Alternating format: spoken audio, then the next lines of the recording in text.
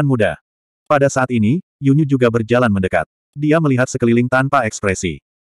Lin Xuan berkata, ayo pergi ke tempat berikutnya dengan klon. Yunyu terkejut. Dia masih punya beberapa sumber daya untuk dikumpulkan.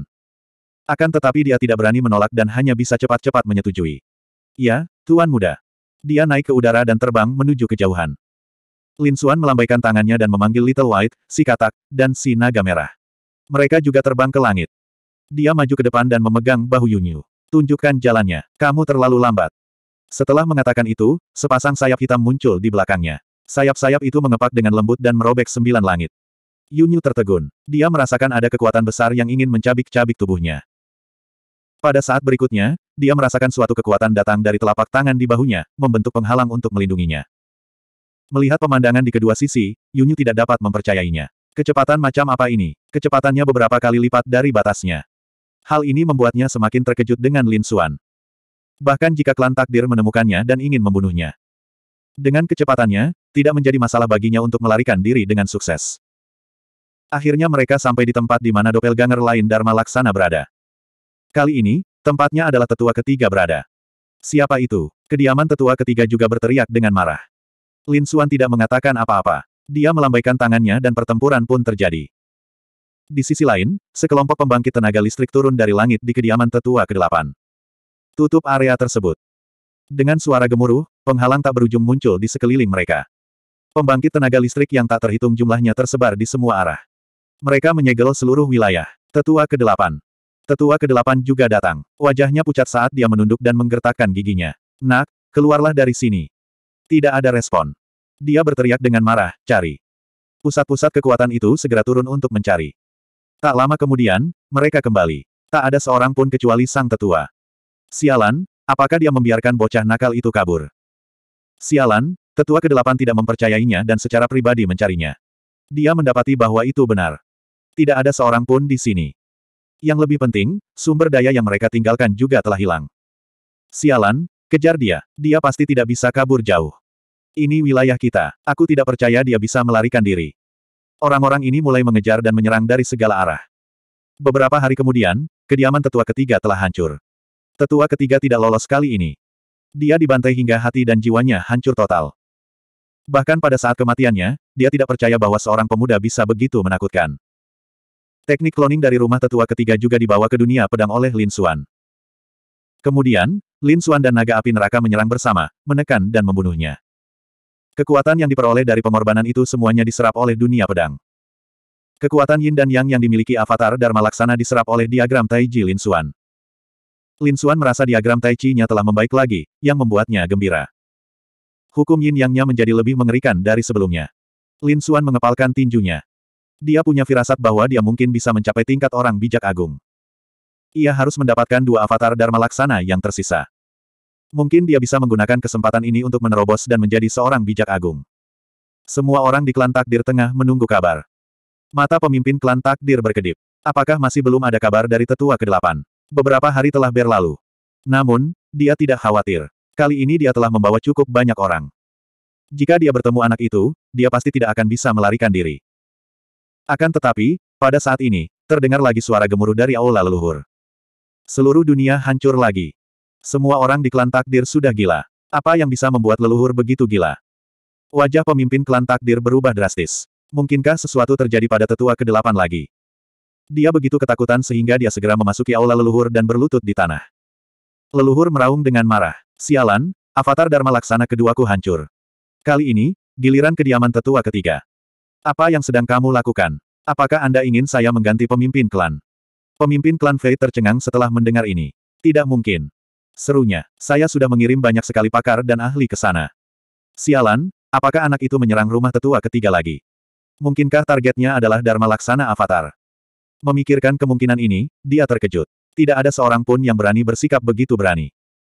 Cepat, beritahu tetua ke-8 dan yang lainnya untuk pergi ke wilayah tetua ketiga dan membunuhnya. Pada saat yang sama, beritahu tetua ke-12 yang tersisa dan tetua ke-15 untuk bertarung dengan seluruh kekuatan mereka. Ketika tetua ke-12 menerima berita itu, wajahnya menjadi sangat jelek. Sudah terlambat. Dia menyadari bahwa pemuda yang disebutkan oleh pemimpin klan sudah ada di depannya. Lin Xuan menyerang dengan ganas.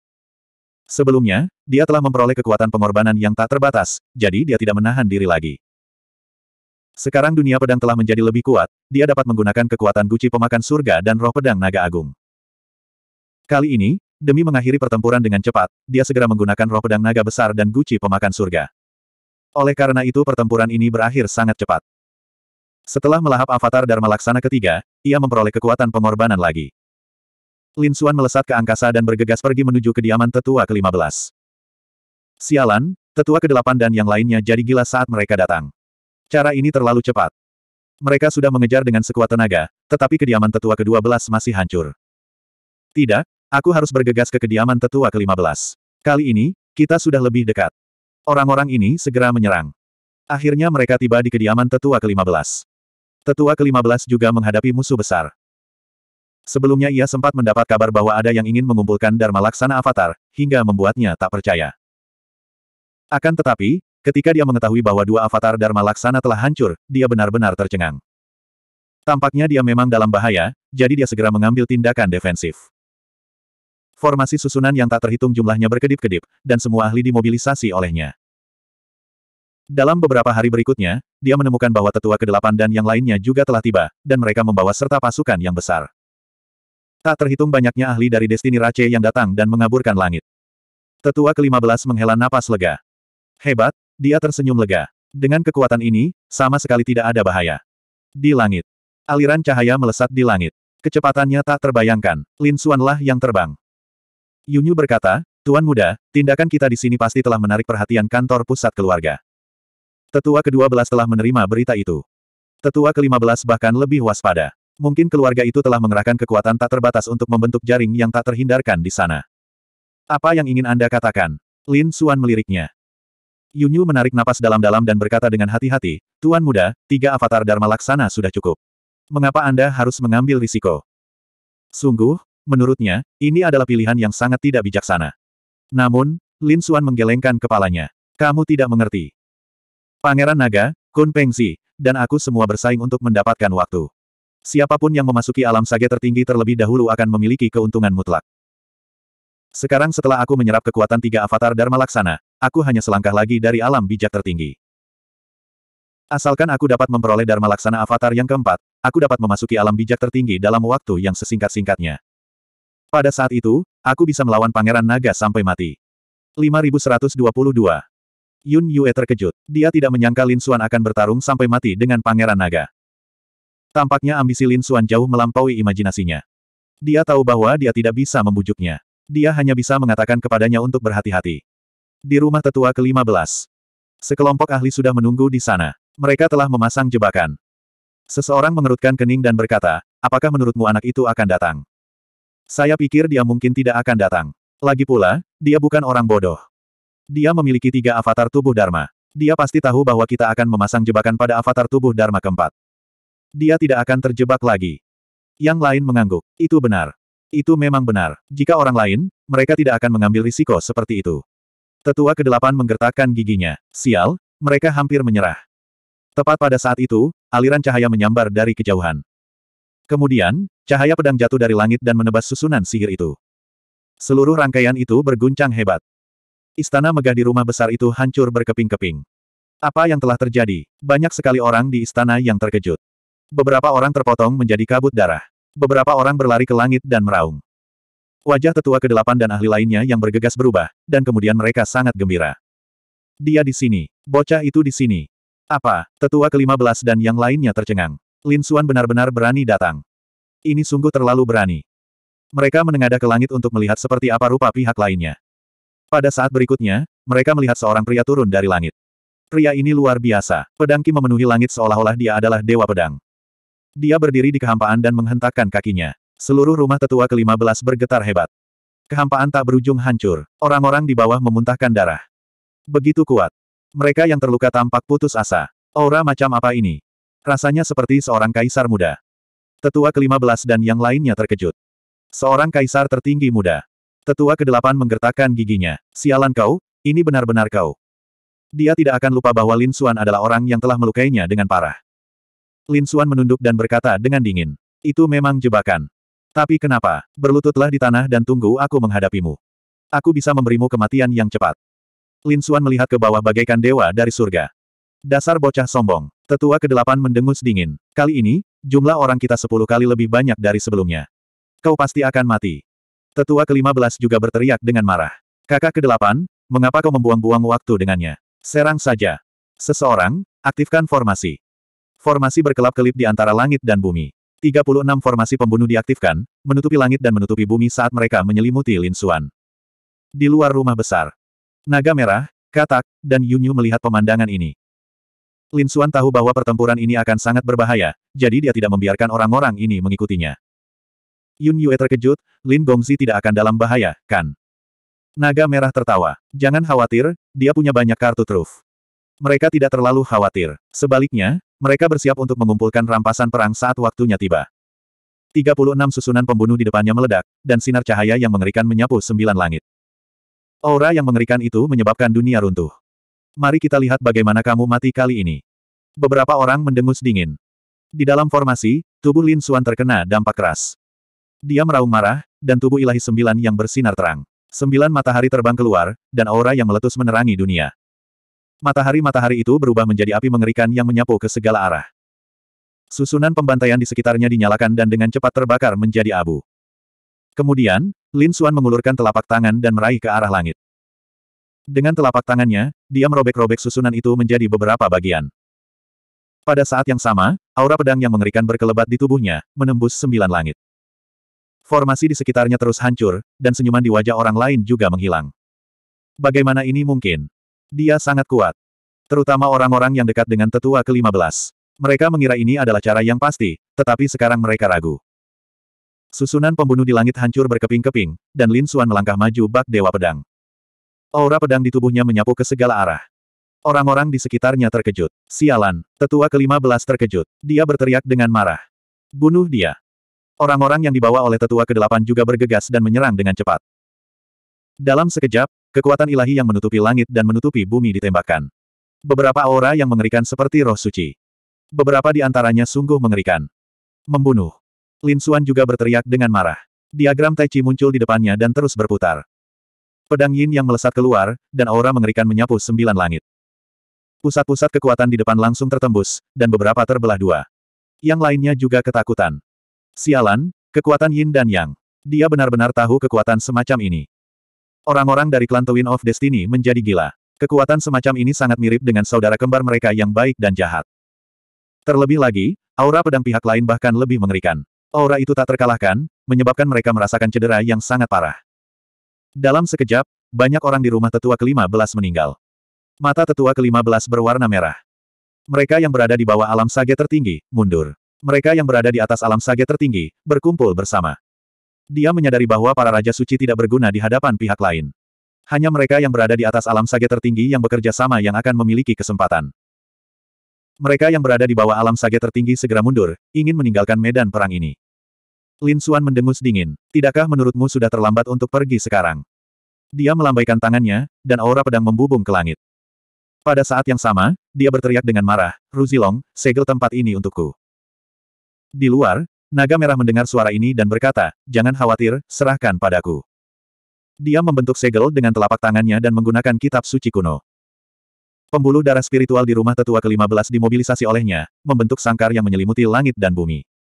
Susunan itu juga terus-menerus hancur. Apa yang terjadi? Susunan kami tidak memiliki daya. Mustahil. Tetua kelima belas menjadi gila. Mereka memilih rumah besar itu karena ada begitu banyak urat nadi spiritual di bawah tanah. Bahkan ada pembuluh darah naga. Bagaimana mungkin tidak ada kekuatan? Tetapi sekarang, semua kekuatan itu digunakan oleh naga merah, membentuk segel kuat yang memblokir semua orang. Mereka yang mencoba melarikan diri semuanya diblokir dan dikirim terbang kembali, ki dan darah mereka melonjak. Tetua Zhang, ini gawat. Kita tidak bisa melarikan diri sama sekali. Seluruh rumah besar telah disegel. Mereka ketakutan. Ekspresi tetua kelima berubah jelek. Kalian semua, mundurlah sejauh-jauhnya. Semua orang lainnya, bunuh. Dia melesat ke angkasa dan menyerbu ke depan. Tetua kedelapan dan yang lainnya juga menyerang. Mata tetua pertama memancarkan cahaya dingin. Si kembar baik dan jahat muncul di belakangnya. Itu sungguh mengerikan. Lin Xuan mencibir. Hanya karena kamu kalah darinya, dia malah melancarkan pukulan. Ada api yang sangat mengerikan di atasnya, menyebabkan si kembaran jahat itu terbakar. Tetua kedelapan meraung marah dan memancarkan cahaya suci untuk menghalangi api suci sembilan matahari. Namun, ia langsung ditelan oleh energi iblis yang dilepaskan oleh Lin Xuan. Tetua kedelapan berteriak, matanya dipenuhi ketakutan. Datanglah dan bantu aku. Kali ini dia tidak datang sendirian. Tiba-tiba kelima ahli itu bergegas mendekat dan menyerang Lin Xuan bersama-sama. Tetua kedelapan menampakkan senyum sinis. Mari kita lihat bagaimana kau akan mati. 5123 Kelima ahli itu sangat menakutkan. Ketika mereka bersatu, mereka dapat menghancurkan segalanya. Energi iblis Lin Xuan langsung hancur, dan api ilahi sembilan matahari juga padam. Pergilah ke neraka, ekspresi kelima ahli itu dingin. Lin Xuan membentuk segel dengan telapak tangannya, dan kitab pemanggilan iblis dalam tubuhnya dengan cepat beredar. Bayangan iblis muncul di belakangnya. Bayangan iblis itu menggunakan segel dewa iblis dan melesat maju. Kelima ahli itu langsung diselimuti, dan segel hitam itu seperti gunung yang dapat menghancurkan langit dan bumi. Satu jatuh. Jiwa kelima ahli itu hancur dan mereka berubah menjadi kabut berdarah. Tetua kedelapan ketakutan. Bagaimana ini bisa terjadi? Kekuatan kelima ahli itu setara dengannya. Saat mereka berlima menyerang, kekuatannya lima kali lipat lebih besar darinya. Sekarang, mereka terbunuh dalam satu pukulan. Mungkinkah anak ini tidak menggunakan kekuatan penuhnya saat bertarung dengannya? Dia benar-benar tercengang.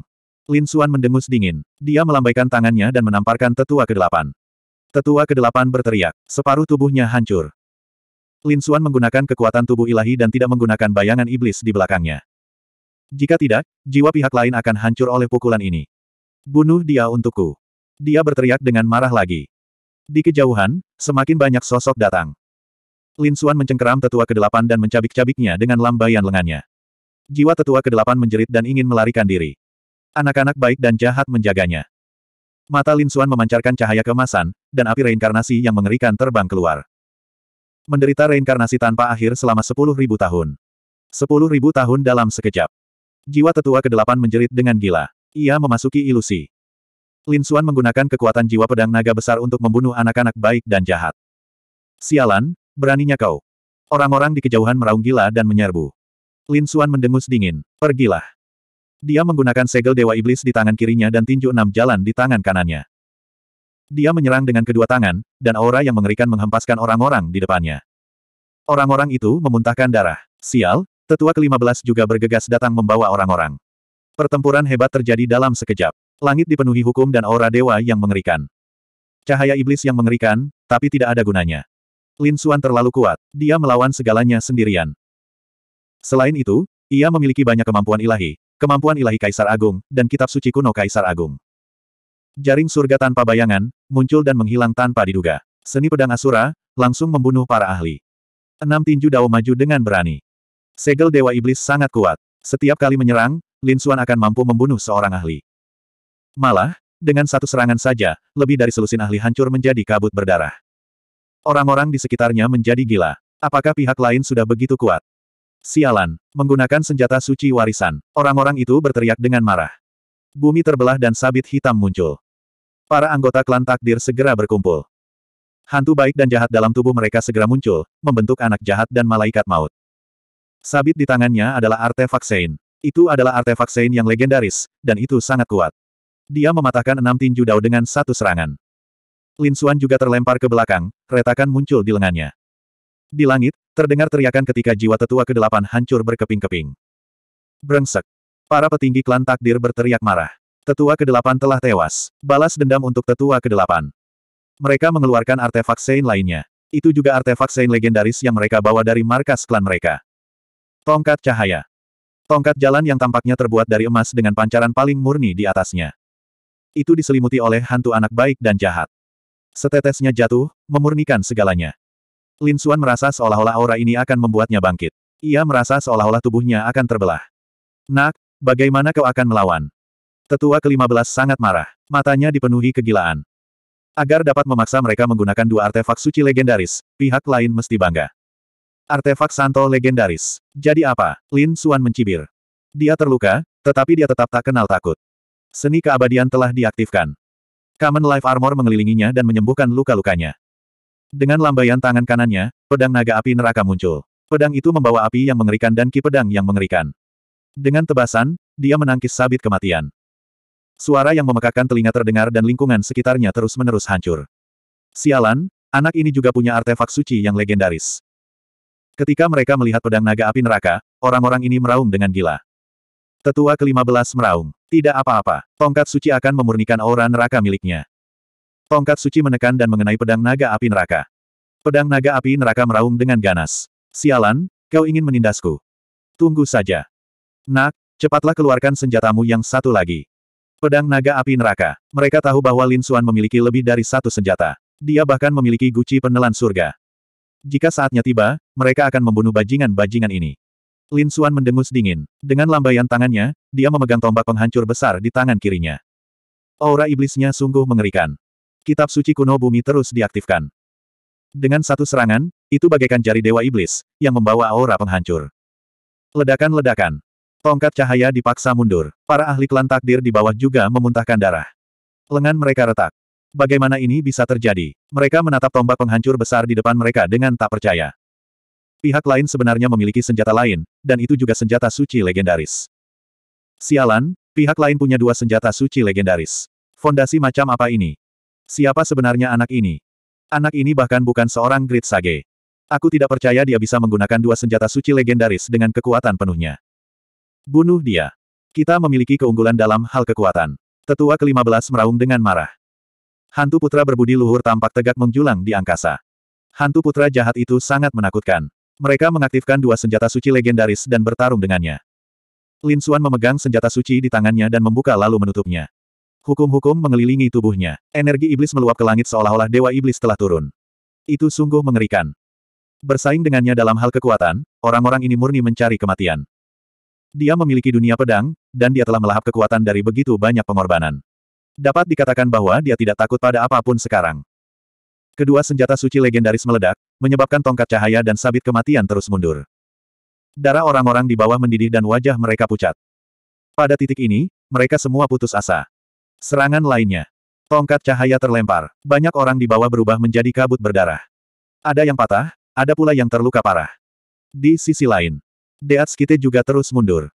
Semua orang gila, tidak bisakah mereka melakukan sesuatu kepada pihak lain? Lin Xuan berjalan bagaikan dewa iblis.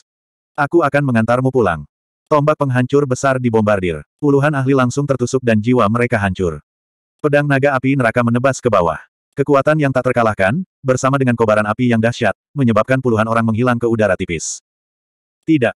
Tetua klan Destiny meraung dengan gila. Salah satu lengan tetua kelima belas menghilang. Separuh tubuhnya hancur. Pada saat ini, katanya dengan ngeri. Dia segera mundur ke aula leluhur. Mereka gila. Mereka tidak bisa bersaing dengan partai lain dalam hal fondasi. Sekarang mereka hanya bisa mencari bantuan avatar Dharma Idol. Idola Dharma Avatar sangat aneh. Aula leluhur juga dibangun secara khusus. Oleh karena itu, avatar Dharma Idol hanya bisa tinggal di dalam. Jika tidak, avatar Dharma Idol akan keluar dan dengan mudah menekan pihak lain. 5124.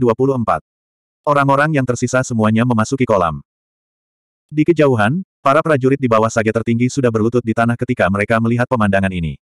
Pemandangan macam apa ini? Seperti kiamat. Mereka tidak bisa melawan sama sekali. Beberapa dari mereka bahkan terkena beberapa hukum dan ki pedang. Jiwa mereka hancur. Lin Xuan melambaikan tangannya, dan api ilahi sembilan matahari yang menakutkan berubah menjadi matahari dan terbang ke segala arah. Akibatnya, semua orang di hadapan sang bijak agung terbakar menjadi abu. Kemudian, dia mengangkat kepalanya dan menatap aula leluhur di depannya. Sudut mulutnya melengkung ke atas sebagai tanda jijik saat dia melangkah maju. Ketika dia tiba di pintu masuk aula leluhur, dia mencibir. Apakah menurutmu kamu bisa bertahan hidup dengan bersembunyi di sana? Kamu terlalu naif. Hari ini, bukan hanya Anda saja yang akan mati, tetapi avatar ini juga akan mati. Ketika orang-orang di aula leluhur mendengar ini, mereka semua terkejut. Kemudian, wajah mereka menjadi dingin. Mereka tidak mengatakan apa-apa. Setelah pihak lain masuk, mereka akan memberitahu dia apa itu keputusasaan. Mereka akan menyiksanya sampai mati. Lin Xuan memegang tombak penghancur besar di tangannya dan berjalan masuk dengan pedang naga api neraka. Setelah masuk, pintu aula leluhur langsung ditutup. Lingkungan sekitarnya gelap. Sekelompok suara gemuruh yang mengerikan terdengar. Nak, beraninya kau membunuh begitu banyak ahli kami. Aku akan memberitahumu apa itu keputusasaan. Hal bodoh, kau pikir kau siapa? Kau pikir kau bisa bersaing dengan avatar leluhur kita? Pergilah ke neraka. Aku akan mematahkan semua tulang di tubuhmu dan menghancurkan jiwamu. Aku akan beritahu kamu bahwa kamu menyesal datang ke dunia ini. Suara-suara ganas di sekitarnya bisa terdengar. Tatapan mata yang menakutkan tak terhitung jumlahnya berkedip-kedip. Lin Xuan mendengus dingin, dan tubuhnya berseri-seri dengan cahaya. Seperti matahari besar, ia menerangi dunia. Ini bukan pertama kalinya dia berada di aula leluhur ini, jadi dia tidak takut sama sekali. Hanya denganmu. Lin Xuan melihat sekeliling dan mencibir. Sekelompok semut. Sialan, orang-orang di sekitarnya jadi marah. Siapa di antara mereka yang bukan seorang pakar top, seorang tetua dari generasi tua? Namun saat ini, di hadapan pihak lain, mereka tidak melawan sama sekali. Mereka menggertakkan gigi. Nak, memangnya kenapa kalau kau makhluk muda yang agung? Memangnya kenapa kalau kau kaisar muda? Di sini, kami adalah raja. Tolong beritahu leluhur Anda. Mereka segera membungkuk. Sebuah patung muncul di depannya. Itu adalah patung kebaikan dan kejahatan, dan masih tetap misterius seperti sebelumnya. Patung putra berbudi luhur itu juga menatap Lin Xuan. Kaulah yang berani menimbulkan masalah. Pergilah ke neraka. Pohon palem hitam bersemi dengan cahaya, dan hukum-hukum yang berlaku di atasnya menakutkan. Lin Xuan berteriak dingin dan melakukan pukulan serupa. Enam tinju dao menghancurkan langit dan bumi saat mereka bertabrakan satu sama lain. Suara nyaring terdengar saat Lin Xuan mundur tiga langkah. Telapak tangan mengerikan dari putra jahat itu juga berhasil ditangkis. Semua orang terkejut. Apakah orang ini mampu melawan patung Dharma Tetua Agung hanya dengan tubuhnya? Bahkan patung baik dan jahat pun terkejut. Dia memiliki beberapa kemampuan. Tidak heran mereka bisa berjuang sampai di sini. Lin Xuan tertawa. Kau biasa saja, aku sudah menyerap ketiga bentuk transendensi milikmu. Anda tidak terkecuali. Menyerah saja. Matanya dipenuhi keyakinan. Sialan, si doppelganger berteriak marah. Dia juga tahu tentang masalah ini. Apa bocah nakal di depannya ini? Dia meraung marah dan memberiku dua senjata suci warisan. Dia memegang tongkat cahaya dan sabit kematian di tangannya. Dia berkata, di sini, Aku dapat mengembalikan kedua senjata suci ini dengan sekuat tenagaku dan membiarkan mereka menampilkan kekuatan mereka yang sebenarnya. Bisakah kamu menolaknya? Orang-orang di sekitar juga tertawa. Hahaha, dasar bocah bodoh. Idola Dharma Tetua Agung kita jauh lebih kuat dari milik kita. Sekarang, saya akan memperlihatkan kepadamu apa sebenarnya senjata suci yang diwariskan. Si Doppelganger juga marah. Dia mengaktifkan senjata suci yang diwariskan dengan sekuat tenaga. Dia memang kuat sejak awal, dan aula leluhur ini berisi kekuatan yang diperoleh dari pengorbanan yang tak ada habisnya. Pada saat ini, dia melepaskan kekuatan tak terbatas. Hukum-hukum itu seperti air laut yang menutupi langit dan menutupi bumi. Pada saat ini, tetua ke-15 dan anggota klan kembaran takdir lainnya juga berlutut di tanah. Mereka sama sekali tidak dapat menahan kekuatan ini. Meski kulit kepala mereka mati rasa, hati mereka gembira. Hebat, kekuatan seperti itu pasti bisa membunuh pihak lain. Bocah itu pasti sudah mati. Sudah berakhir. Lengan si doppelganger terjatuh. Tongkat cahaya dan sabit kematian meletus bersamaan, menelan Lin Xuan. Di depannya, sebuah lubang hitam terbentuk, seolah-olah dunia sedang terbelah. Sudah berakhir. Semua orang juga mengangkat kepala mereka. Mata mereka dipenuhi kegembiraan. Seperti yang diharapkan dari tetua agung. Hanya Dharma Idol Doppelganger yang dapat dengan mudah membunuh seorang yang supreme. Jadi bagaimana jika dia seorang jenius? Bahkan jika dia seorang putra mahkota, dia masih akan berada dalam bahaya kematian sebelum dia dewasa sepenuhnya. Pemuda ini terlalu sombong. Dia pantas mati kali ini. Tawa dingin terdengar satu demi satu, dan Dharma Idol si Doppelganger juga menarik tangannya. Beraninya kau menantangku, aku akan membunuhmu tanpa ampun. Begitukah? Kau biasa saja, kau masih jauh dari mampu membunuhku. Di tengah tawa itu, sebuah suara terdengar. Orang-orang di sekitar tercengang setelah mendengarnya. Bagaimana mungkin, mereka tidak bisa mempercayai apa yang mereka dengar. Siapa yang berbicara? Idola Dharma si Doppelganger juga meraung. Kamu benar-benar bodoh. Tidak bisakah kamu mengenali suaraku? Lin Xuan mencibir. Itu kamu. Kamu tidak mati. Itu tidak mungkin. Tetua ke-15 dan yang lainnya menjadi gila. Mata si Doppelganger juga memancarkan cahaya yang menakutkan. Matanya yang hitam dan putih menembus lubang hitam di depannya, menghancurkan kehampaan. Mereka melihat pusaran hitam yang terus berputar. Suatu sosok berjalan keluar dari pusaran itu. Itu Lin Xuan. Kau sebenarnya tidak mati. Dharma Idol milik si Doppelganger juga meraung marah. Apakah itu serangan kekuatan penuh dari senjata suci legendaris tadi? Bagaimana pihak lain bisa mengelak? Lin Xuan mendengus dingin. Dia mengulurkan tangannya, dan ada sebuah toples hitam di telapak tangannya. Jadi bagaimana jika Anda adalah senjata suci legendaris? Sudah kukatakan, kau tidak akan mampu menahan satu pukulan pun dariku. Melihat toples hitam itu, warga sekitar kembali ketakutan. Aura yang keluar darinya terlalu mengerikan dan tubuh mereka hampir hancur. Jiwa mereka hampir padam. Bahkan cahaya pada dua senjata suci legendaris pun meredup. Mereka tampak gemetar. Brengsek. Dharma Idol milik Doppelganger itu meraung marah. Mungkinkah itu senjata yang sangat kuat? Dia merasakan sedikit rasa takut darinya. Bibir Lin Xuan melengkung. Benar, kau benar. Itu senjata yang ekstrim. Apa? Semua orang menjadi gila. Mata mereka membelalak tak percaya. Pihak lain benar-benar memiliki senjata ekstrim. Orang harus tahu bahwa ini adalah senjata milik Tirk. Hanya ras Tirk yang memilikinya. Selain itu, jarang terdengar tentang senjata Tirk. Namun, sekarang, pihak lain benar-benar memiliki senjata ekstrim di tangannya. Apakah dia benar-benar seorang murid? Sialan, Dharma Idol si Doppelganger pun ikut meraung marah. Dengan suara gemuruh, kekuatan para pendeta di sekitarnya dengan cepat terbakar. Tampaknya dia akan berusaha sekuat tenaga. Jadi bagaimana jika Anda memiliki senjata ekstrim? Anda tidak dapat melepaskan kekuatan sebenarnya. Jika kamu mati, senjata ekstrim ini akan menjadi milikku.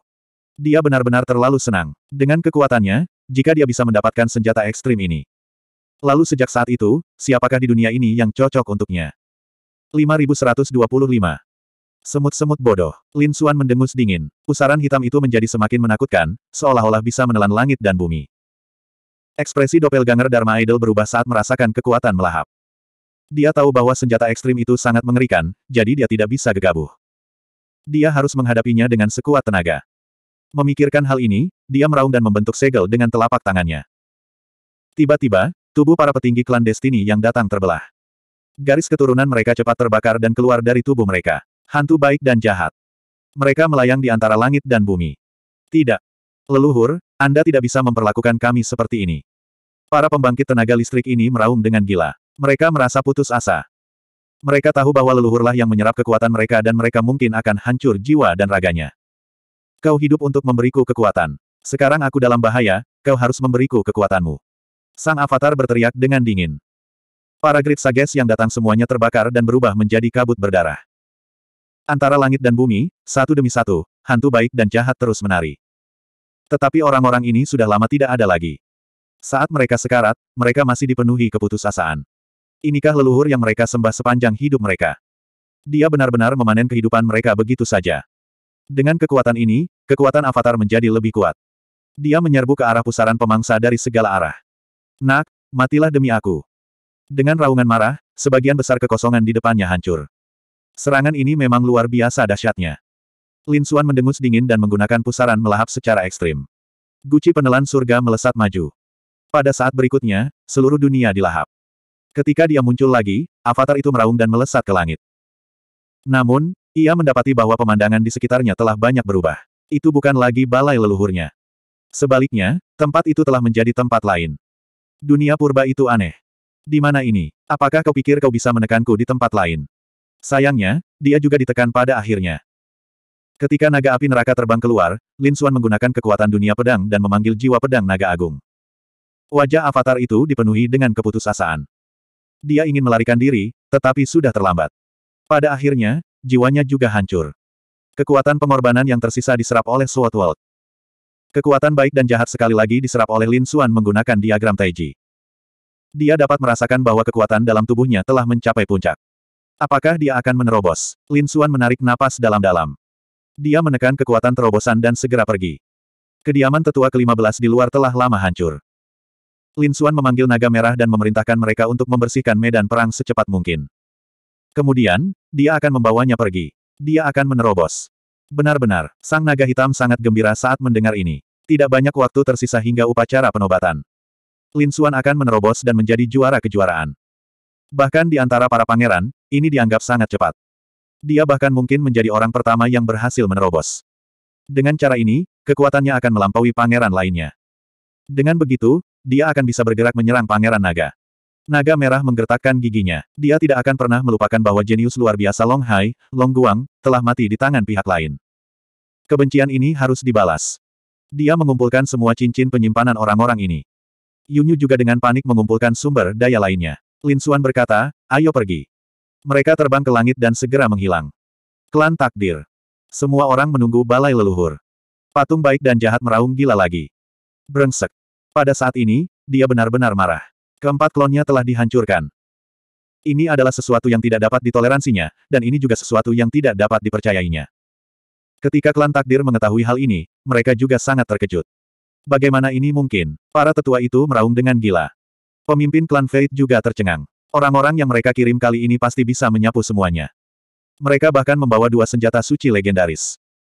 Sekalipun rumah besar itu hancur, idola avatar Dharma yang terakhir pasti tidak akan hancur. Tetapi sekarang, segala sesuatunya berada di luar harapan mereka. Begitu banyak pembangkit tenaga listrik yang tumbang. Ketika mereka melihat tablet giok jiwa hancur, mereka pun menjadi gila. Tak seorang pun kembali hidup-hidup. Tak terhitung banyaknya tetua, tokoh terkemuka, para jenius, dan keempat klon. Semuanya jatuh. Seluruh klan Fei terkejut. Siapakah mereka? Apakah seorang putra mahkota yang membawa kekuatan tak tertandingi dari klan Kaisar Agung? Saya pikir ada kemungkinan dia menggunakan senjata ekstrim. Suara diskusi terdengar satu demi satu. Menurut mereka, ini adalah satu-satunya cara untuk melakukannya. Kalau tidak, mustahil bagi seorang pemuda untuk melakukan hal ini. Berita ini tidak dapat disembunyikan sama sekali. Lagi pula, banyak orang telah memperhatikan penghancuran kediaman empat tetua agung. Kemudian, berita itu menyebar ke mana-mana, dan akhirnya seluruh benua Yu Heng mengetahuinya. Mereka sangat terkejut. Si kembar takdir merupakan klan teratas para leluhur di benua Yu Heng. Mereka tidak lebih lemah dari klan Tian Peng sama sekali. Bahkan, dalam hal vitalitas, mereka bahkan lebih kuat dari klan Tian Peng. Karena mereka adalah eksistensi yang hampir abadi. Selama si kembar baik dan jahat tidak terbunuh seketika, mereka tidak akan binasa. Namun sekarang, mereka semua sudah mati. Banyak sekali tetua yang gugur. Mayat mereka menumpuk seperti gunung, dan lautan darah berkumpul. Itu berubah menjadi neraka, tempat terjadinya kehancuran. Ya Tuhan, siapa yang melakukannya? Apakah itu klan Phoenix? Suara diskusi yang tak terhitung jumlahnya terdengar. Ketika klan Phoenix mendengar berita itu, mereka segera keluar untuk mengklarifikasi. Itu bukan klan Phoenix kita. Mereka juga tidak ingin menyinggung si kembar takdir tanpa alasan. Klan Tian Peng juga mengatakan bahwa bukan klan Tian Peng yang melakukannya. Keluarga-keluarga papan atas lainnya pun turut menyuarakan pendapatnya satu demi satu. Sesaat, semua orang terkejut. Mereka yang bisa melakukannya, semuanya ditolak. Lalu siapa orangnya? Apakah itu naga kuat dari benua lain? Namun, seekor naga yang kuat tidak dapat menahan seekor ular di tempat-tempat lamanya. Pelat besi macam apa yang ditendang oleh si kembar takdir? Tidak mungkin klan naga, kan? Kurasa itu mungkin klan Kunpeng. Kunpeng Zi mengolah hukum yin yang, dan kekuatannya sangat mirip dengan si kembar takdir. Jadi mereka punya alasan untuk melakukannya. Suara diskusi terdengar satu demi satu. Semua orang menebak-nebak, bahkan klan Phoenix dan klan Tian Peng pun menyelidiki berita itu. Pemimpin klan Phoenix menggelengkan kepalanya. Itu tidak mungkin Kun Peng Si. Jika dia ingin melakukannya, dia tidak akan melakukannya seperti ini. Seorang tetua di samping juga menarik napas dalam-dalam. Benar, jika Kun Peng Zi ingin melakukannya, dia akan melakukannya di markas besar klan takdir.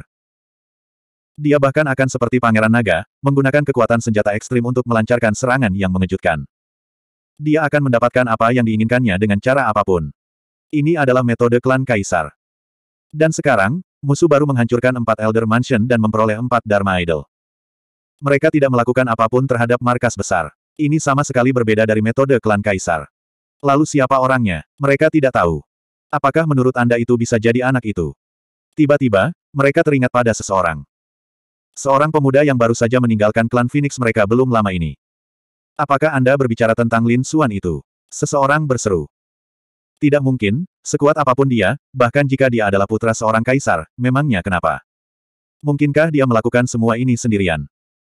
Bahkan jika dia bisa membunuh para tetua itu, bagaimana dengan para avatar Dharma Idol? Selama masih ada secercah harapan, harapan itu tidak akan hancur. Bahkan jika ditekan, ia tidak akan mati. Bagaimana ia bisa melakukannya? 5126. Orang-orang dari klan takdir menyelidiki lebih panik lagi. Mereka harus tahu siapa musuhnya. Beberapa klan kaisar dan pangeran ditolak oleh mereka. Siapa itu? Pada saat ini, seorang tetua mengirim pesan. Belum lama ini, Raja Mahkota Lin Wu datang. Dia bertarung dengan jenius teratas dari klan Tian Peng, Bai Liwu. Kemenangan. Terlebih lagi, dia dan Murong King Cheng adalah sahabat Dao. Dia pernah menjadi tamu klan Phoenix, tetapi kemudian dia menghilang. Tidak ada jejaknya lagi. Apakah Anda mengatakan bahwa Lin Wudi adalah orang yang melakukan ini? Itu tidak mungkin. Orang-orang dari klan takdir tidak mempercayainya. Tidak ada yang tidak mungkin. Saya sudah menyelidikinya dan menerima berita. Lin Wudi tidak hanya mengalahkan Bai Liwuk, tetapi dia juga melukai Pangeran Naga pada hari penobatan. Dikatakan bahwa Pangeran Naga menggunakan diagram 10.000 naga, dan Lin Wudi juga memiliki senjata ekstrim. Oleh karena itu, ada kemungkinan dia melakukannya. Terlebih lagi, Lin Wudi berada di bawah tekanan yang sangat besar. Dia sangat perlu untuk menerobos untuk menjadi seorang sage tertinggi. Karena musuhnya adalah Pangeran Naga. Dibandingkan dengan pangeran lainnya, fondasinya bisa dikatakan yang paling lemah. Tanpa klan kaisar besar yang dapat diandalkan, dia harus mendapatkan semua sumber dayanya sendiri. Oleh karena itu, ia menyerang avatar Dharma Idol untuk mendapatkan sumber daya. Sial, apa itu benar-benar dia? Ketika para petinggi klan takdir mendengar analisis ini, mereka semua menggertakkan gigi. Mata pemimpin klan takdir juga memancarkan cahaya yang kuat. Kalau saja dia punya senjata ekstrim, dia pasti bisa melakukannya. Sialan, pergi dan selidiki keberadaan Lin Wudi. Selama dia berada di benua Yuheng, kita harus menemukannya dan membawanya ke sini. Saya ingin memberitahu dia tentang konsekuensi jika menyinggung kami. Semua orang mulai bergerak, yang lain juga mulai menebak. Apakah Lin Wudi yang melakukannya? Bai Li Wuk dari klan Tianpeng menerima berbagai macam berita. Apakah itu benar-benar dia? Apakah orang ini sudah begitu menakutkan? Patriark Bai Li berkata, dia seharusnya meminjam setengah senjata kelas ekstrim, Heaven Swallowing Jar. Ini di luar kemampuannya sendiri.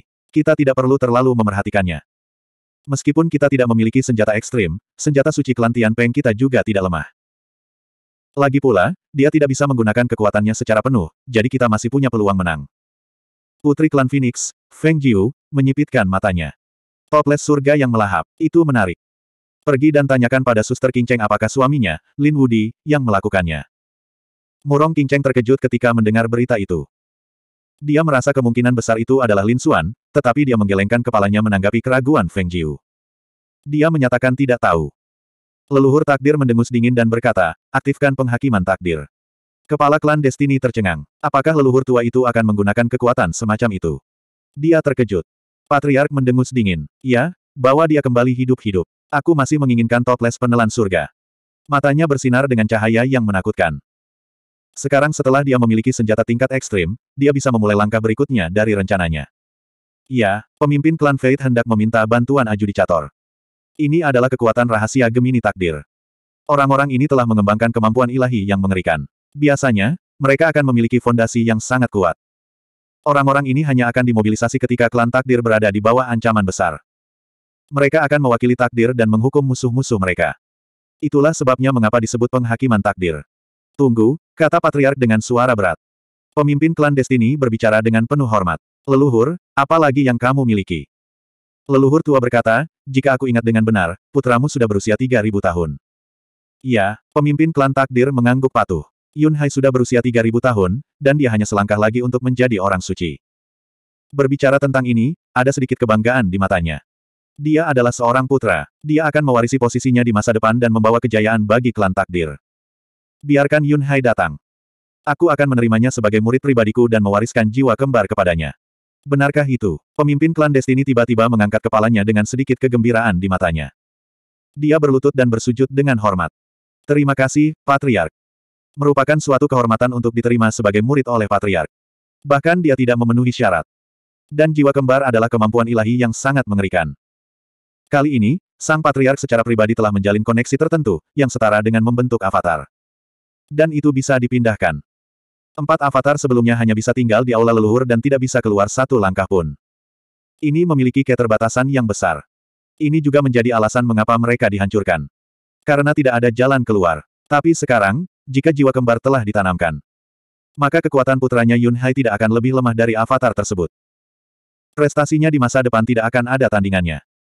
Bahkan ada harapan baginya untuk melampaui Saint Realm dan mencapai alam yang lebih luar biasa. Memikirkan hal ini, matanya memerah. Patriark, jangan khawatir. Aku akan memanggil Yun Hai. Mem. Sang Patriark perlahan-lahan menutup matanya dan mulai menunggu dengan sabar. Dia tahu bahwa Lin Wudi tidak dapat melarikan diri selama dia masih berada di benua Yuheng. Dia akan memiliki kesempatan untuk menekannya. Setelah pemimpin klan Destiny keluar, dia memberi perintah dan mulai memobilisasi orang yang tak terhitung jumlahnya. Pada saat yang sama, dia memanggil tetua agung dan memintanya untuk mengaktifkan putusan takdir. Tetua Agung terkejut. Apakah dia benar-benar akan menggunakan kekuatan itu?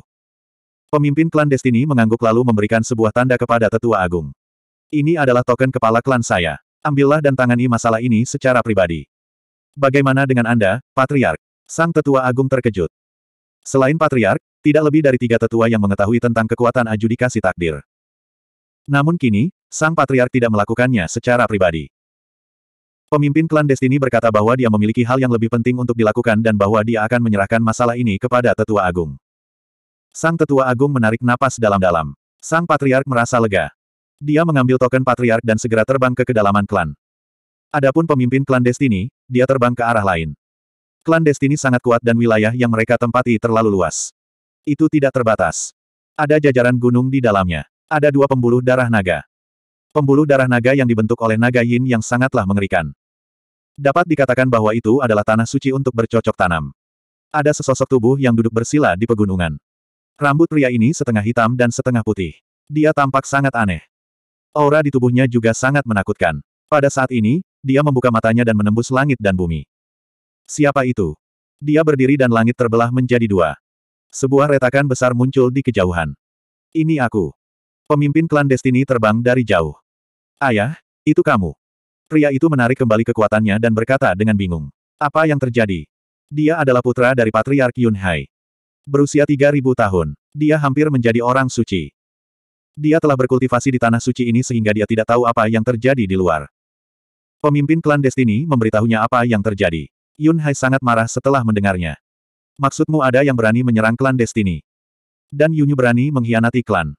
Niat membunuh yang teramat dingin tampak di matanya. 5127. Yunyu tidak perlu takut pada apa pun. Yang paling penting adalah Lin Wudi. Dia adalah putra mahkota, dan bakatnya tidak lebih lemah dari putra mahkota. Yang lebih penting lagi, dia memiliki setengah senjata tingkat ekstrim, Devouring Heaven Jar. Dia sangat sulit untuk dihadapi. Hanya dengan menekannya, bahaya tersebut dapat diatasi. Ayah, apakah ayah ingin aku pergi? Yun Hai berkata, tidak masalah. Berikan aku senjata suci dan aku akan menekannya. Meskipun pihak lainnya masih muda dan memiliki setengah guci pemakan surga, dia tidak takut. Karena usianya yang jauh lebih tua daripada pemuda itu, dan dia hanya selangkah lagi dari tahap akhir alam orang suci tertinggi. Oleh karena itu, kekuatannya pun sangat mengerikan. Dengan senjata suci, dia bisa menyapu semuanya. Pemimpin klan Destiny menggelengkan kepalanya. Yun Hai mengerutkan kening. Ayah, apakah kamu tidak percaya padaku? Hai, Er, bagaimana mungkin aku tidak percaya padamu? Namun, jangan terburu-buru untuk bertindak. Patriark ingin bertemu denganmu. Dia ingin menerimamu sebagai murid pribadinya. Benar-benar, tubuh Yun Hai bergetar, dan kilatan cahaya muncul di matanya. Ayah, benarkah demikian? Jangan tertipu oleh kesombongannya sebelumnya. Ketika dia mendengar berita ini, dia sangat gembira seperti anak kecil. Benar, aku di sini untuk membawamu menemui Patriark. Ikutlah denganku. Keduanya melayang ke langit dan berubah menjadi aliran cahaya. Di sisi lain, sebuah ngarai besar muncul di daratan yang tak berujung. Tetua pertama melambaikan lencana di tangannya. Susunan di sekitar ngarai menghilang, dan sebuah lorong muncul. Dia berjalan menuruni lereng hingga mencapai dasar ngarai. Di bawahnya terdapat serangkaian istana bawah tanah, dikelilingi oleh formasi susunan yang berkelap-kelip tak terhitung jumlahnya. Siapa ini? Berhenti. Sebuah suara terdengar. Petir menyambar dari langit dan menghalangi jalan sang tetua agung. Pada saat yang sama, empat sosok hitam muncul di sekelilingnya. Empat sosok hitam dengan cahaya yang sangat menakutkan. Sang tetua agung berdiri di sana, tubuhnya dingin. Ia merasakan ancaman yang mematikan. Selama dia bergerak, keempat orang ini dapat mencabik-cabiknya.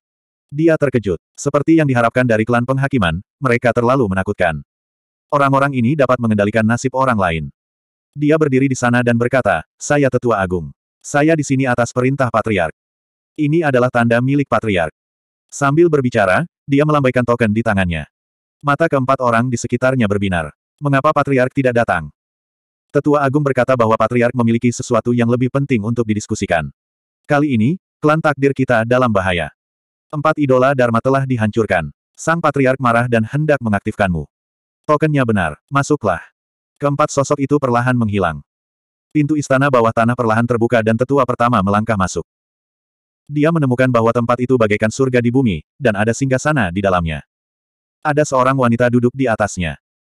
Wanita ini mengenakan jubah perang suci dan memegang buku surgawi di tangannya. Ada tongkat kerajaan di tangan kanannya. Dia juga memiliki sayap putih di punggungnya. Tak ternoda sedikit pun debu, ia tampak bagaikan dewa. Dia duduk di atas tahta. Ketika wanita itu melihat tetua pertama berjalan mendekat, dia mengangkat kepalanya dan bertanya dengan suara yang dalam. Apa itu? Sang tetua agung menceritakan apa yang telah terjadi. Wanita itu menutup kitab surgawi di tangannya dan berdiri. Cahaya yang sangat dingin muncul di matanya. Berkumpul. Begitu perintah diberikan, banyak tokoh bergegas keluar dari istana bawah tanah di sekitarnya. Mereka semua datang ke depan aula utama dan berdiri di sana dengan ekspresi dingin. Patriark telah memerintahkan agar Lin Wudi ditekan. Dengan lambaian tangannya, sayap di punggungnya terbentang. Dia menghancurkan dunia dan melesat ke angkasa. Seratus pembangkit tenaga listrik juga menyusul. Orang-orang ini menghilang ke dalam kehampaan seperti dewa dan setan. Tetua pertama terkejut. Seratus kekuatan ajudicator kini bergerak maju. Itu adalah kekuatan yang tak terkalahkan. Tampaknya badai besar akan melanda benua Yuheng. Lin Wudi pasti akan mati kali ini. Sehari kemudian, rumah 15 tetua itu hancur. Ada banyak sosok di sana, berkelap-kelip. Mereka adalah seniman bela diri bijak dari benua Yuheng yang datang ke sini untuk mencari peluang. Lagi pula, dulunya ada banyak sekali pembangkit tenaga listrik di sini. Barangkali ada cincin penyimpanan dan segala jenis harta karun yang tertinggal. Bahkan beberapa senjata yang rusak merupakan harta karun yang tak ada habisnya bagi mereka. Jadi mereka datang ke sini untuk mencari harta karun. Pada saat ini, suatu kekuatan dingin muncul dan menutup sekelilingnya. Di langit, sepasang sayap putih menutupi langit.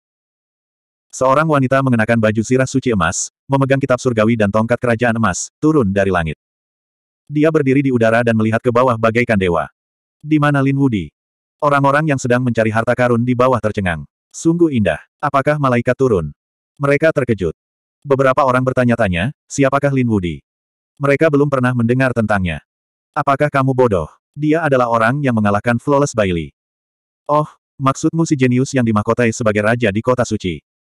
Mengapa dia ada di sini? Seorang pria berjalan keluar sambil membawa kipas lipat di tangannya. Lin Wudi tidak ada di sini. Bagaimana saya harus menyapa Anda? Saya Iron Van Sein. Bisakah kita berteman? Wanita secantik itu sangat langka. Jika dia bisa mendapatkannya, itu akan luar biasa. Memikirkan hal itu, dia tertawa. Di langit, wanita berbaju besi emas menundukkan pandangannya dan melambaikan tangannya. Sebuah hukum turun dan menyelimuti Iron Van Sein. Santo kipas besi menjerit dengan sedih. Retakan yang tak terhitung jumlahnya muncul di tubuhnya, bahkan jiwanya sedang terkoyak. Tatapan itu menakutkan. Wanita di langit berkata dengan dingin. Hukuman. Dengan suara ledakan, Santo kipas besi terkoyak-koyak dan jiwanya hancur. Orang-orang di sekitarnya terkejut dan terus mundur. Siapa orang ini? Santo Kipas Besi juga merupakan seorang ahli di antara para bijak. Namun sekarang, dia terbunuh oleh suara pihak lain. Sungguh tidak dapat dipercaya. Di mana Lin Wudi? Wanita di langit itu berbicara lagi. Orang-orang di sekitarnya ketakutan. Beberapa orang marah. Lin Wudi tidak ada di sini. Cari saja dia di tempat lain. Mata wanita berbaju zirah emas itu dingin menusuk. Ini adalah wilayah si kembar takdir. Bahkan jika tempat ini hancur, itu bukanlah tempat yang bisa kau datangi. Anda telah memasuki wilayah Twins of Destiny. Kejahatan Anda dapat dihukum mati. Hukuman. Suara dingin terdengar, dan sosok-sosok hitam tak berujung muncul di sekitarnya. Mereka membawa serta niat membunuh yang dingin dan menggigit, seakan-akan mereka adalah pembawa pesan neraka, yang menyelimuti langit dan bumi. Dalam sekejap, banyak orang tercabik-cabik. Teriakan terdengar, lari. Yang lainnya ketakutan dan ingin melarikan diri. Pertempuran hebat pun terjadi dalam sekejap. Dalam waktu kurang dari setengah jam, ratusan orang bijak yang datang untuk mencari harta karun semuanya terbunuh. Darah mewarnai sembilan langit menjadi merah. Seratus sosok berjubah hitam lainnya berdiri di sana, darah menetes dari tubuh mereka. Dirikan monumen, segel itu dan peringatkan dunia. Tidak seorang pun dibolehkan menginjakan kaki di sana. Wanita berbaju emas itu berkata dengan dingin. Ratusan ahli misterius di sekitarnya menggunakan tulang-tulang orang bijak yang telah meninggal untuk mendirikan monumen surgawi. Mereka menggunakan darah sage mereka untuk membentuk penghalang yang menyelimuti 15 rumah besar milik Sang Tua. Dan memperingatkan dunia. Mereka yang melewati batas akan dibunuh tanpa ampun. Si kembar takdir tidak dapat ditantang. 5128 Bukan hanya kediaman tetua ke-15, kediaman tetua ke-8, dan juga dua kediaman lainnya yang memiliki avatar. Mereka membunuh orang-orang yang mencari harta karun di sana dan mendirikan monumen sebagai peringatan. Untuk sesaat, dunia gempar. Siapa yang begitu menakutkan? Mungkinkah ini adalah kekuatan legendaris? Seseorang berseru. Yang lain bertanya dan bingung. Seorang lelaki tua dari ras Peng berkata dengan suara yang dalam. Si kembar takdir memiliki kekuatan yang sangat tersembunyi yang disebut penghakiman takdir. Dikatakan bahwa mereka ada untuk tujuan hukuman. Siapa pun yang berani memprovokasi Destiny Twins akan dihukum. Kelompok orang ini sangat mirip. Mereka seharusnya menjadi penghakiman takdir. Mereka datang ke sini untuk menghukum. Lin Wudi sudah tamat. Kekuatan kelompok orang ini sangat mengerikan. Mereka dingin dan tidak akan menunjukkan belas kasihan. Begitu kata-kata ini diucapkan, seluruh benua Yu Heng tercengang. Tampaknya si kembar takdir benar-benar marah. Mereka bahkan menggunakan kekuatan misterius seperti itu. Lin Wudi pasti akan mati. Sesaat, badai mulai terjadi. Di mana-mana sedang membicarakan masalah ini. Setelah Ras Phoenix dan Murong King Cheng menerima berita tersebut, mereka juga sangat gugup. Mereka bertanya-tanya apakah Lin Xuan dalam bahaya. Hanya saja mereka tidak bisa menghubunginya sekarang. Pada saat ini, Lin Xuan mulai mengasingkan diri setelah memperoleh kekuatan empat avatar. Dia menemukan sebuah gua di pegunungan dan bersembunyi di sana. Kemudian, dia membentuk sebuah formasi. Setelah itu, dia memasuki dunia pedang dan berkultivasi di dalamnya. Dia ingin menerobos ke alam sage agung sesegera mungkin. Lin Xuan sedang menyendiri. Dunia luar semakin menakutkan, terutama penghakiman takdir. Mereka mendominasi di mana-mana. Kekuatan yang mereka tunjukkan membuat banyak orang ketakutan. Mungkin tidak ada yang bisa menahan kekuatan ini. Masalah ini diketahui oleh orang-orang dari keluarga dan sekte lain. Bahkan benua Yao Guang dan kota suci jauh pun mengetahuinya. Di Saint Distant City, banyak sekali orang yang membicarakannya. Tahukah Anda, sesuatu yang mengejutkan terjadi di benua Yuheng?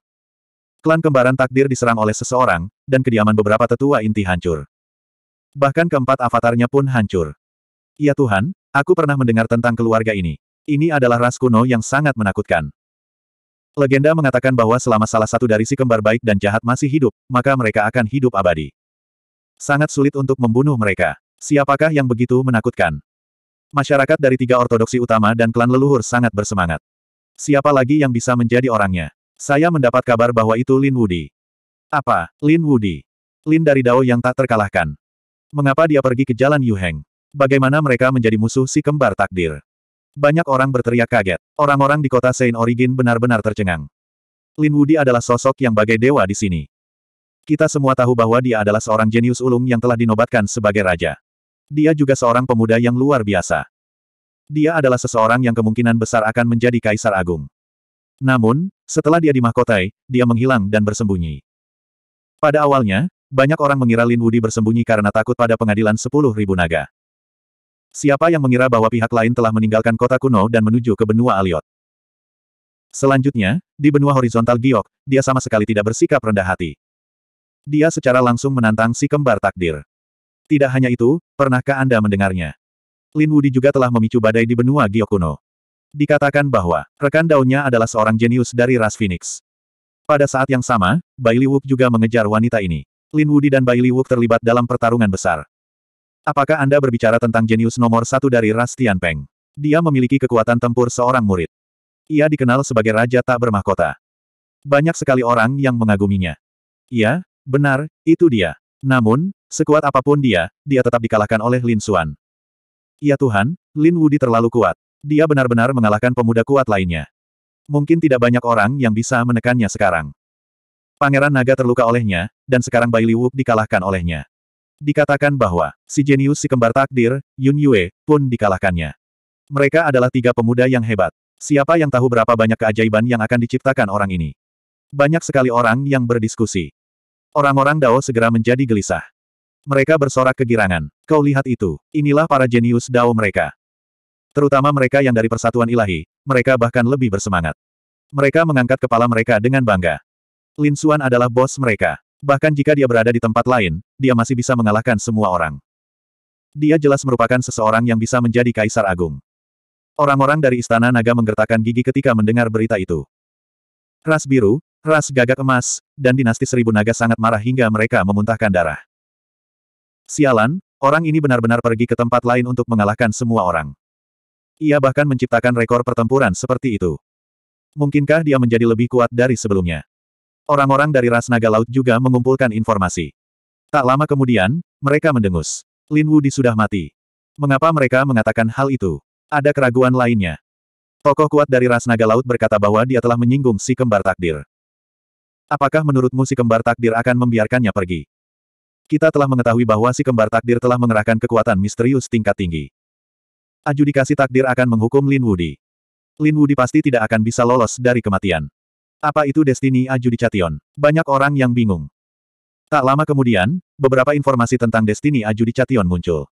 Jumlah kemunculannya sangat sedikit. Mereka muncul sekali 2000 tahun lalu, dan sekali lagi 5000 tahun lalu. Kedua kali itu, muncullah kekuatan-kekuatan dahsyat tak tertandingi, bahkan beberapa sekte dan klan bersatu padu menantang si kembar takdir. Hal ini menyebabkan si kembar takdir terluka. Pada akhirnya, saat Destiny Adjudication muncul, entah itu kekuatan-kekuatan tak tertandingi atau pasukan gabungan dari klan-klan teratas, mereka semua hancur. Tak seorang pun bisa lolos. Mereka semua terbunuh oleh Destiny Adjudication. Jiwa mereka ditekan di 18 tingkat neraka. Ya Tuhan, penentuan takdir ini sungguh mengerikan. Sangat. Selain ras kaisar, keputusan takdir akan mencakup segalanya. Tidak peduli seberapa kuat Lin Wudi, bisakah dia menahannya? Sesaat, semua orang terkejut. Banyak orang siap melihat lelucon. Jika Lin Wudi jatuh, itu akan menjadi peristiwa yang menggemparkan. Ada juga banyak diskusi di samping. Orang-orang dari Divine Union merasa khawatir. Orang-orang dari Istana Naga mencibir. Mereka ingin melihat bagaimana dia akan mati. Bai Susu adalah orang pertama yang berbicara. Beberapa orang benar-benar naif. Lin Wudi adalah eksistensi yang memiliki senjata ekstrim. Jadi bagaimana jika Destiny Adjudication kuat? Bukankah menurutmu Lin Wudi itu berbahaya? Bukankah dia membunuh musuh yang kuat berkali-kali? Tunggu saja dan lihat saja. Lin Wudi pasti akan mengalahkan Destiny Adjudication kali ini. Orang-orang dari Persatuan Ilahi keluar satu demi satu untuk mendukung Lin Xuan. Bahkan klan Dugu, klan Nalan, klan Naga Api dan lainnya mendukungnya. Berita itu menyebar ke seluruh kota kuno. Para leluhur dan tetua agung dari generasi tua juga turut berdiskusi satu sama lain. Mereka juga menaruh perhatian khusus pada pertempuran ini. Bagaimanapun, Lin Xuan adalah Raja Mahkota, teladan muda. Kehidupan dan kematiannya terkait dengan pertempuran di jalan untuk menjadi Kaisar Agung. 5129. Sekte Surga. Di kediaman Yewu Dao. Dao Denir Daun berdiri di sana, alisnya berkerut. Dia melihat informasi di tangannya, matanya berbinar. Apakah penentuan takdir benar-benar menakutkan? Ada beberapa tetua klan Ye yang berdiri di sampingnya. Mereka berkata bahwa itu sangat menakutkan. Keputusan takdir sangatlah misterius. Ia hanya muncul dua kali dalam 6.000 tahun terakhir, tetapi kita masih memperoleh beberapa informasi. Jumlahnya ada seratus. Pemimpinnya mengenakan jubah suci berwarna emas, bagaikan bidadari, dengan cahaya kesuciannya yang tiada taraf. 99 orang yang tersisa mengenakan jubah hitam, dengan aura neraka. Kekuatan orang-orang ini tak terduga, mereka setidaknya berada di tahap tengah alam suci agung. Pemimpinnya kemungkinan besar adalah orang bijak. Yang lebih penting, mereka memiliki hantu baik dan jahat. Selama mereka tidak terbunuh dalam sekejap, mereka abadi. Terlebih lagi, garis keturunan mereka saling terhubung dan mereka dapat memanggil keberadaan yang bahkan lebih mengerikan. Jadi, kecuali seseorang yang berada di puncak alam Santo Agung, bahkan seorang bijak pun pasti akan mati. Setelah mendengar ini, Ye Wudao mengerutkan kening. Ini bukan kabar baik.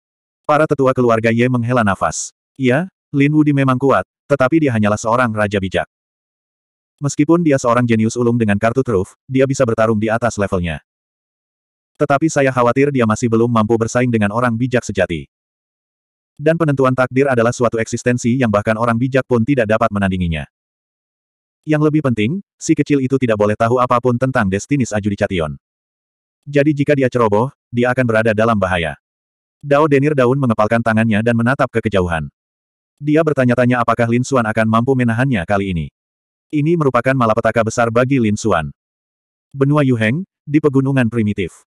Binatang iblis terus mengaum. Ada bahaya di mana-mana di hutan. Di sebuah gua di balik air terjun, ada deretan cahaya misterius yang berkelap-kelip. Pada saat ini, sesosok tubuh terbang cepat dan mendarat di samping air terjun. Susunan itu meledak, namun sosok itu berkata, itu aku. Naga merah terbang keluar dan berkata, kau kembali. Datang. Orang yang kembali tidak lain adalah Yun Yue. Dan di sinilah naga merah dan yang lainnya beristirahat. Setelah Yun Yue masuk, ekspresinya sungguh serius. Bagaimana dengan Lin Gongxi? Aku perlu menemuinya. Dia sedang bercocok tanam ketika katak itu melompat. Dia tidak punya waktu untuk melihatmu. Jika Anda memiliki sesuatu untuk dikatakan, sampaikan kepada kami. Yun Yue menggelengkan kepalanya. Ini adalah masalah yang sangat penting, jadi dia harus memberitahunya secara langsung.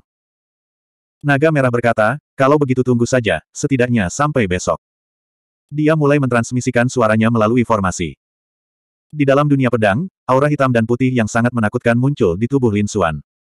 Hukum yin dan yang di atasnya cukup untuk menyapu bersih segalanya. Kultivasinya juga menjadi lebih kuat dari sebelumnya. Dia duduk bersila di lembah empat roh dan terus-menerus menyerap hukum yin dan yang. Ada pula pasokan tenaga yang tak ada habisnya untuknya. Pada saat ini, formasi di sampingnya berkedip dan sebuah suara terdengar. Lin Xuan perlahan membuka matanya. Tatapannya mengandung kekuatan misterius. Saat berikutnya, dia sedikit mengernyit dan berjalan keluar. Ini adalah pesan dari naga merah. Sebelumnya, dia sudah mengatakan untuk tidak mengganggunya kecuali itu sesuatu yang sangat penting. Fakta bahwa Zhang Xuan telah mengiriminya pesan telepati berarti sesuatu yang penting telah terjadi. Dia berjalan keluar. Apa yang sedang terjadi? Lin Xuan bertanya setelah dia keluar. Lin Gongzi, kamu akhirnya keluar. Yun Yue melangkah maju. Lin Xuan terkejut. Oh, kamu kembali lagi. Ketika mereka pergi lebih awal, mereka berpisah dari Yun Yue. Lagi pula, jalan mereka berbeda, dan mereka tidak takut Yun Yue mengkhianati mereka. Lagi pula, klan takdir pasti tidak akan memaafkan pihak lain setelah hal seperti itu terjadi. Tetapi apa yang terjadi dengan pihak lainnya sekarang? Lin Gongzi, sesuatu yang buruk telah terjadi. Penentu takdir telah dikirim. Penentu takdir, apa itu? Apakah sangat kuat? Ekspresi Yun Yue sangat serius. Dia berkata bahwa Destiny Adjudicator adalah kekuatan yang sangat misterius dari klan Gemini Destiny kita. Mereka secara khusus mempersiapkannya untuk hukuman. Jika kekuatan ini digunakan, bahkan seorang bijak pun pasti akan mati. Selain mereka yang berada di puncak alam sage agung yang dapat melarikan diri, tidak ada seorang pun yang mampu. Bahkan seorang bijak pun akan mati. Sang naga merah berseru. Katak itu juga bisa melompat. Begitu kuatnya, mungkinkah puncak alam sage agung telah disingkirkan? Puncak alam sage agung berdiri di puncak alam sage. Orang seperti itu juga merupakan eksistensi tingkat leluhur di klan leluhur. Mereka tidak akan bisa disingkirkan dengan mudah, kan? Kalau memang begitu keadaannya, mungkin mereka harus segera meninggalkan tempat ini. Kata Yun Yue, itu bukan puncak alam sage agung. Penilai takdir terdiri dari 100 orang, termasuk malaikat suci dan 99 pemburu. Mereka cukup untuk menghancurkan seorang bijak. Ternyata itu bukan puncak alam sage agung. Naga merah dan yang lainnya menghela napas lega. Namun ekspresi mereka masih sangat serius. Menurut Yun Yue, ini hanyalah sekelompok dewa pembunuh. Lin Xuan berkata, tidak apa-apa. Benua Yuheng sangat luas. Ayo tinggalkan tempat ini dan pergi ke tempat lain untuk bersembunyi. Mereka mungkin tidak akan dapat menemukannya sama sekali. Tunggu aku menerobos dan menjadi orang bijak agung. Pada saat itu, aku tidak peduli kamu adalah penilai takdir apa. Kamu pun tidak bisa berbuat apa-apa kepadaku. Mata Lin Xuan berseri-seri dengan cahaya yang amat menakutkan. Selanjutnya, mereka diam-diam pindah dan meninggalkan pegunungan ini. Mereka pergi ke tempat yang lebih jauh dan hidup sepenuhnya dalam pengasingan. Lin Xuan sama sekali tidak muncul di dunia pedang. Dia berkultivasi dengan seluruh kekuatannya. Di luar, sang penentu takdir tengah mencari dengan panik. Namun, mereka gila. Benua Yuheng sangat luas dan tak terbatas. Jika seseorang benar-benar ingin bersembunyi, mereka tidak akan dapat menemukannya meskipun dia bersembunyi selama 10 tahun. Kecuali mereka menggunakan kekuatan yang sangat misterius, seperti menyimpulkan rahasia surga. Tetapi mereka tidak tahu kekuatan semacam itu. Jadi mereka meminta bantuan keluarganya. Pemimpin klan takdir secara pribadi mengundang seorang ahli yang sangat menakutkan untuk menyimpulkan rahasia surga. Kali ini, mereka benar-benar gila. Mereka membayar harga yang sangat mahal untuk mengundang seorang ahli dari lembah Dao Surgawi. Santo Sembilan Jari. Dao Surgawi dapat menyimpulkan rahasia surga. Namun, harga untuk mengundang mereka juga sangat tinggi. Kali ini, klan Destiny Gemini benar-benar tampil habis-habisan. Kedatangan Santo Sembilan Jari menyebabkan klan Gemini takdir menjadi sangat gembira. Dengan keahlian seperti itu, bahkan seorang sage agung puncak pun tidak akan mampu bersembunyi. Semua orang menantikannya. Orang suci sembilan jari memiliki sembilan jari. Telapak tangannya terus-menerus membentuk segel. Di sekelilingnya, ukiran-ukiran langit yang tak berujung muncul. Di depannya ada sebuah cangkang kura-kura. Cangkang itu sangat besar dan penuh dengan ukiran pola. Pada saat ini, pola-pola itu terus terjalin. Orang suci sembilan jari itu menyimpulkan selama tiga hari tiga malam. Tiba-tiba, dia membuka matanya dan terbang keluar. Dia meludahkan seteguk darah lama. Tidak. Rambutnya langsung memutih, seolah-olah dia telah menua ratusan tahun. Yang lain tercengang. Ekspresi pemimpin klan Destiny berubah drastis. Apa yang terjadi? Dia bergegas maju dan berteriak dengan marah. Cepat keluarkan obat mujarab itu. Tubuh orang suci sembilan jari bergetar. Matanya dipenuhi ketakutan. Orang ini tidak ada di dunia ini. Apa maksudnya? Semua orang tercengang. Tetua Agung mengeluarkan dua kotak harta karun. Patriark membukanya. Di dalamnya terdapat obat-obatan spiritual yang sangat berharga. Pemimpin klan takdir mengambil satu bagian dan memberikannya kepada orang suci sembilan jari untuk ditelan. Kemudian, dia bertanya, bisakah kamu menjelaskannya secara rinci? 5130. Setelah Santo Sembilan Jari menelan ramuan itu, kulitnya sedikit pulih. Hati para anggota Fate Rache lainnya berdarah. Ramuan ini pasti dapat menghidupkan kembali orang mati. Leluhur baik yang jahat pasti akan membunuhnya. Dia harus mendapatkan beritanya dengan cara apa pun. Hanya satu orang yang menarik napas dalam-dalam dan berkata, saya sudah memeriksa dan dia tidak ada di benua horizontal giok. Tetua Agung menggertakkan giginya. Sialan, apakah anak itu kembali ke kota kuno Holy Abyss? Namun, Sein sembilan jari menggelengkan kepalanya. Tidak, kamu tidak mengerti. Dia bukan hanya tidak berada di benua jade horizontal, dia juga tidak berada di benua jade horizontal. Dia juga tidak ada di kota kuno Holy Abyss. Dia tidak ada di burit Emperor Star. Apa? Dia tidak ada di burit Emperor Star. Pemimpin klan Rasfei tercengang. Sudah berapa lama, dia sudah meninggalkan dunia bintang ini? Bagaimana kita menemukannya? Ada banyak sekali dunia bintang di alam semesta.